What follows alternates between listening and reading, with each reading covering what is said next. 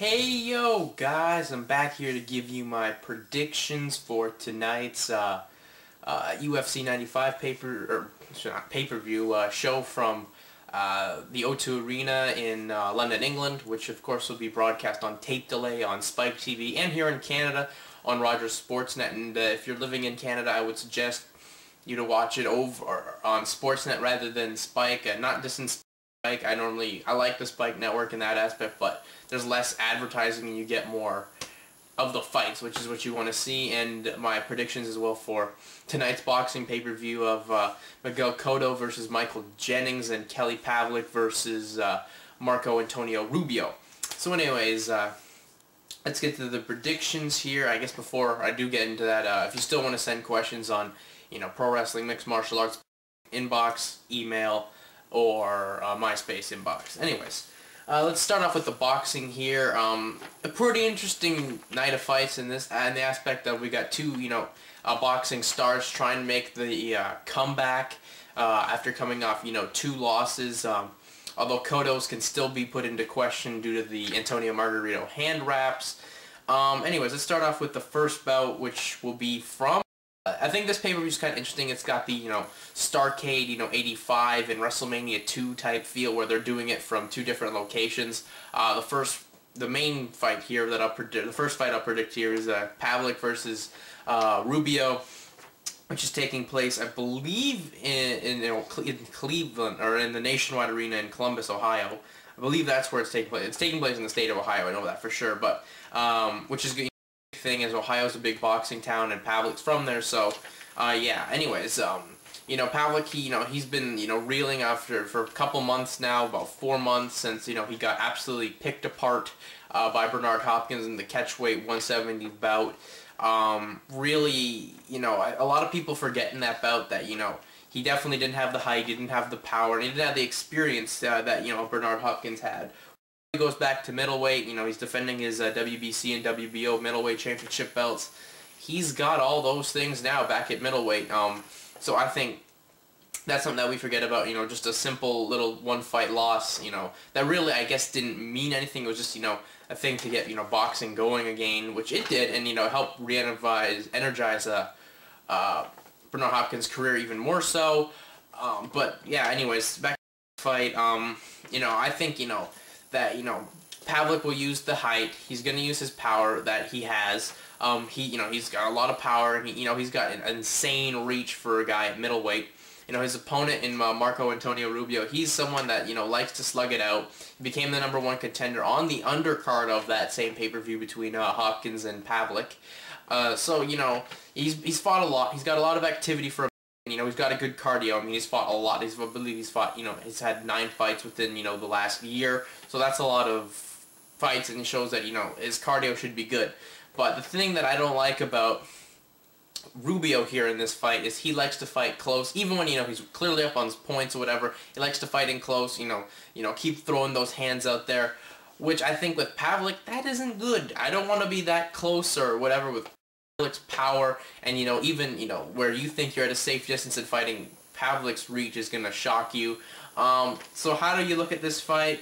Well, you see, I think we'll get an exciting fight. You know, with the first couple of rounds will probably be exciting, but eventually I just think that Pavlik will overtake and probably try and finish early as, you know, he's coming off that loss to Hopkins.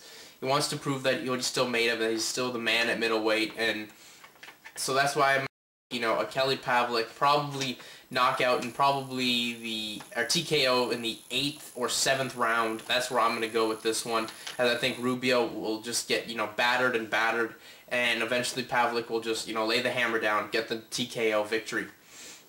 And then we move over to the other bout, which is uh, Miguel Cotto versus uh, Michael Jennings, uh, which this one's taking place at the Mecca of boxing at Madison Square Garden. As I said earlier, you know, Cotto, and not only just Cotto, but a lot of guys are, you know, who have had losses to uh, Antonio Margarito. Well, now those losses can kind of come off as uh, the whole hand wrap instance. So I think that's going to be a key aspect, and you can tell kind of from interviews that, you know, Cotto's maybe a bit upset about that. He may have lost due to uh, unfortunate cheating there from Antonio Margarito. So how do you look at this? You know, Cotto wants to, you know, reestablish himself as a superstar. You know, he's fighting for a vacant championship. Uh, really, you know, his opponent in Michael Jennings, you know, he's a top contender. Yeah, but really, if you look at his record, who's he really fought? And absolutely no one. You know, his management's kind of, you know, put him against people that he's clearly better than to get into a championship contention. And I don't want to be that guy, that, that guy who, you know, fought people that, you know, you're better than, and then, you know, when you get into there with a real championship fight, you're underclassed a lot. And that's where I see Michael Jennings being absolutely underclassed. Cotto, he's going to have, you know, the roar of the Madison Square Garden fans are clearly going to be behind him because of the huge Puerto Rican population uh, in uh, New York, and they will obviously be there supporting Cotto. He's going to have that. I'm going to expect an early TKO here um, from Miguel Cotto, but then again, you can look, well, Michael Jennings, you know, a lot of people aren't expecting him to win. You know, if he doesn't if he gets, you know, killed in the first fight, we expected that, you know, and he's got he's got nothing to lose. So you can look at it that way. Um, as you know, this you know it's a big scenario. You know, Buster Douglas had nothing to lose when he knocked out Mike Tyson. Um, you had uh, uh, Shannon Briggs against Lennox Lewis, who he nearly beat Lennox for the uh, championship, I believe, in 1998, the heavyweight championship. So, I mean, he's got nothing to lose, but I just still think Cotto's going to overmatch him and overpower him and just, you know, batter him down and, you know, uh, reestablish himself and, you know, be the Miguel Cotto of old, you know, the one that was, you know, knocking Zab Judah to the mat back at Madison Square Garden. So that's how I'm going to pick this one. So those are my picks. Yes, I'm picking the two stars, but I just think that they have so much to prove, and I think they can have the ability to do it. Um, but it should be a great night of fights, and I don't know how people can say that boxing is dead when, you know, a lot of interesting fights. Uh, moving over to the realm of mixed martial arts, we start off, we have another free card here on uh, on Spike TV and Rogers Sportsnet with uh, UFC 95. And really, a lot of people are hating on this card that, you know, it's not that good. Well, I would like to say, have you checked the card? The main event really should be a good fight um, between Diego Sanchez and uh, Diego Sanchez and Joe Daddy Stevenson. You also got, you know, the number one contender fight for the middleweight championship between uh, Wilson Gouveia and Nate the Great Marquardt. Um, you also got, uh, you know, Josh, Josh Koscheck on there against uh, uh, Paulo uh, Thiago. I mean, you know, that's just a good fight and all. And, you know, we start things out on the night with the first fight, which is Dan Hardy versus Rory Markham. Uh, this fight, to me, looks like, um, I believe Markham is trying to bait Dan Hardy into a stand-up battle by him questioning, you know, his striking power. I don't think you want to do that as I think Dan Hardy has really strong, you know, power. He's a good stand-up fighter as it is, but I don't think he wants to be baited into that. Um, you know, Markham, he's a good, you know, he can fight on the ground, but he's not as good, as skilled as, you know, uh, uh, Dan Hardy is. I think Dan Hardy's just, you know, a and makes him a better mixed martial artist all rounded. So that's what my prediction will be. I will take Dan Hardy to get a uh, unanimous decision victory. I think you know him on the uh, in the stand-up department. He's clearly he's better than him. Uh, better than uh, Rory Markham. I think he can, you know, even potentially, you know, use a knockout or whatever. He can take it to the ground and, you know, uh, excel there more so than uh, Rory Markham. So my prediction, Dan Hardy. Uh, and this should be an exciting fight to get things kicked off. Uh, let's not hate on anything. Then we go to the next fight, which actually is a pretty interesting bout in the middleweight division as we have the man returning to the UFC in Ch Chael Sonnen versus the up-and-coming and probably the best jiu-jitsu practitioner in mixed martial arts in Demian Maia. Um, we, you know, we have uh, Sonnen, he's got all this momentum coming in, you know, he has a lot coming in, you know, from the WEC, and, you know, uh, a lot of good fights. You know, a controversial loss to Paulo Tiag, Paulo Paulo Filho, I should say, and then you know the horrible fight. You know, where he absolutely dominated and came in 100% prepared, and Filho not at all. Um, we all remember that. But he's going in there against Demian Maia, who, as I said, one of the best practitioners of Brazilian Jiu-Jitsu in the world. I still think I think he's the best in mixed martial arts, as I stated earlier. So one of Sonnen's big expertise here is wrestling. I don't think he wants to be the guy that takes the fight to the ground.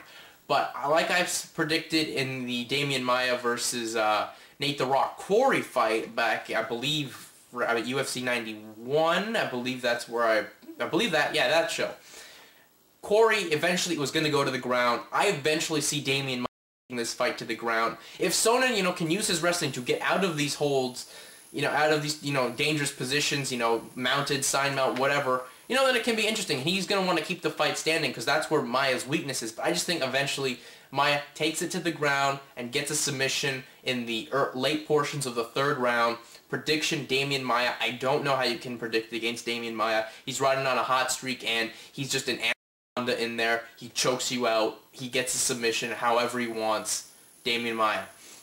Then we go to the fight that, you know, is probably the, the number one contender fight for the middleweight championship, and that's uh, Nate the Great Marquardt versus Wilson Gouveia.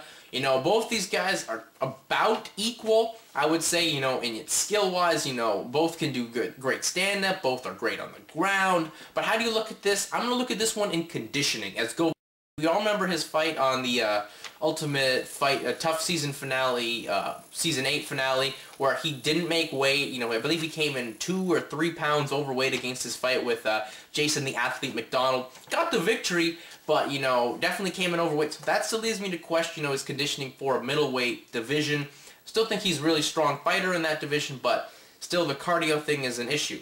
Marquardt, we all know he can come in weight. He's got great great stand-up, great, you know, uh, on the ground, uh, former King of Pancrase, seven-time King of Pancrase champion.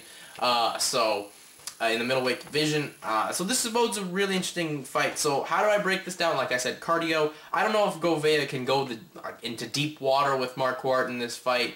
Um, so how do, I'm going to take it, probably Nate Marquardt, probably split decision if anything, but I think, you know, he can probably get a submission or, you know, just gas uh, uh, Gouveia onto his back and, you know, just not be active and uh, referee have to make the stoppage. But I would take a split decision as I think, you know, Gouveia isn't that kind of fighter to just give up. I mean, even if he's gashed, I think he's still going to try and give it 110. So, but I'm going to take Nate Marquardt via split decision. Then we go to the next fight, which is a very interesting one, as we uh, Josh Koscheck making his return fight, or his next fight in the UFC against a uh, newcomer who a lot of people don't know about, and that would be Paulo Thiago. Uh.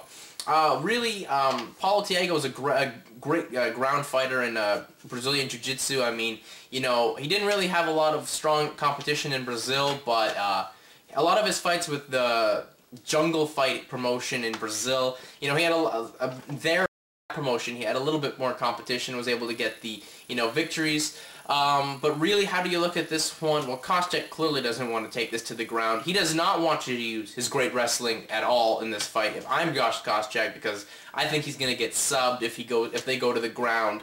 I think what he should do is use something he's really improved on, and uh, definitely his last fight proved it, is improving stand-up. I mean, he's got a lot of power, knows how to do the stand-up. I mean, hell, we all remember what uh, happened to Yoshida at uh, the uh, UFC Fight for the Troops show. Absolutely a devastating knockout there. Um, so how do I take this one? I think that, you know, uh, Josh Koscheck's athleticism will lead him to a victory. Uh, probably probably a split decision as well. So I'm going to take uh, Josh Koscheck via split decision. And then the main event, we have the debuting at lightweight, which actually bodes really for, you know, maybe Diego, for Diego, you know, to be a superstar. It's Diego the Nightmare Sanchez versus Joe Daddy Stevenson. A lot of people are already writing off Joe Daddy Stevenson due to his inability to beat, you know, the superstar type fighter in, uh, you know, a BJ Penn or a Kenny Florian. Um, he's going up here against Diego uh, the Nightmare Sanchez, who, you know, makes his debut here at 155. Um, he definitely has all the tools in the world to uh, superstar at lightweight and eventually, you know, get a, a chance at a title shot. Um, but I think he's going to have to wait a while. But the thing, once again, just like, you know, Gouveia versus Marquardt, cardio, I mean, excuse me, conditioning comes into play here. Um, you know, back in December, Diaz was walking around at about 190, 190 pounds. Um, you know, he was just, you know, the other couple weeks ago at 162. Um, so, and then, you know, he made weight at 156, but I don't know how well his cardio and conditioning will be in the later portions of the round. I think definitely Stevenson has the ability to push the fight to at least the second round. So that's why my upset pick will be Joe Daddy Stevenson, as he's been in this weight class a hell of a lot of times. Diego's making his first attempt here. I don't know how well his body's going to react at all to the weight division, so I'm going to take Joe Daddy Stevenson to be my upset pick and, you know, prove that he's still elite fighter. I mean, he needs this one more than anything. And Joe Daddy seems really, really confident. I mean, he's left, you know, he was training in isolation, um, away from his family. Um, a lot of people are still, well, I mean, Diego for sure thought he was training, still training, you know, in Vegas near his, with his family, or near his family at least. Um, So I think that could bode well, you know, in the surprisingness. Uh, I think Joe Daddy wants to prove that he can beat an elite fighter in a Diego Sanchez. I think he's going to do it. Um, how do I think he'll do it? I think he'll take, you know, a, a unanimous, or probably, you know what, he'll probably take a, a submission at the end, you know, early third round. That's how I'll take it. Joe Daddy Stevenson, submission third round. Other than that, that's it for me. Definitely would love your feedback on, you know, tonight's predictions or preview, whatever you want to call it, on tonight's uh, boxing pay-per-view as well as UFC 95. Definitely leave your comments in the comment section. If you have questions, whatever, send them. Anyways, that's it for me. I am out. Peace.